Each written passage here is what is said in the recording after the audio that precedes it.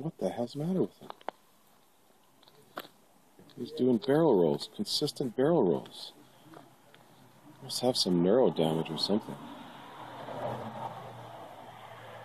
Constantly doing barrel rolls. Look at that.